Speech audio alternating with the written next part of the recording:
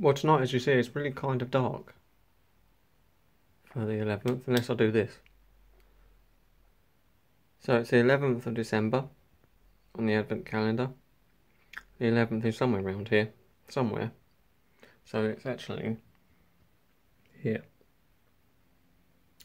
So we're going to have to find out what's hidden within this door. So obviously I'm going to need a free hand. So this is going to have to go up here.